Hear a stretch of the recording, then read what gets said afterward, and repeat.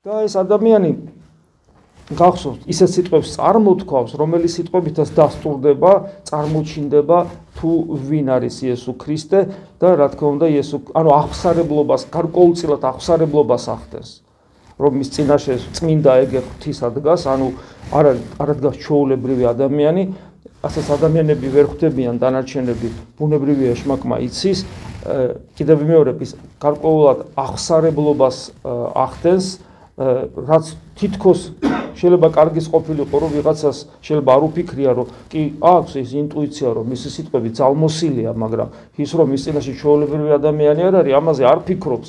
და უცებ ეს ეშმაკეული ადამიანი თითქოს ეხმარება რომ აი აი ეს თქვენ წინ დგას ის ვინც წმინდა აღთისა და ყურადღება მიაქციეთ და მით უმეტეს მე ეს ახსარებლობა ამისთვის მოვიდა ხო ქრისტე რომ ეს იცნო იმიტომ მოვიდა რომ იცნო და ჩვენს ვამბობთ რომ პრობლემა რა იყო მაშინ დელი მოწმინდა საზოგადოების რომ ვერაცნობენ და ხო შეიძლება ვიფიქროთ რომ ეს დახმარებას უწევს ადამიანებს ეს ეშმაკეული არც ამ დროს არც სხვა არასდროს უფალი არიღებს ამ ახსარებლობას, მე მის მის მსგავსად მოციქულებიც არიღებენ, გახსოვთ პავლე მოციქულს იგივე შემთხვევა აქვს, როცა პავლე მოციქულსაც ასე ადიდებენ, ეშმაკეული ადამიანი ვიღაც ქალი იქ, რომელსაც ასევე არიღებს პავლე მოციქული, ანუ ჩვენ ხედავთ რომ ბოროტისგან ახსარებლობას, ბოროტისულისგან და ბოროტისული ჩოპრობილი ადამიანისგან ახსარებლობას ქრისტე არიღებს და არც მოციქულები არიღებენ ქრისტეს მიბაძვით.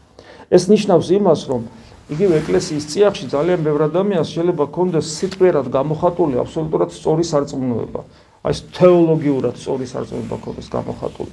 მეცაც ვიტყვით, ის შეიძლება გარეგნულად სწორადაც კი ცხოვრობდეს, ცხოვრობდეს, მაგრამ ეჯერ კიდე არაფერს ნიშნავს. ცხოვრებაში მოგულისხმობ არა მის შინაგან ცხოვრებას, არამედ გარეგან რელიგიურ წესს, როგორც ეს ადამიანი გარეგან რელიგიურ წესს იცავდა, იდგა მსახურებაზე. ეს არაფერს ნიშნავს.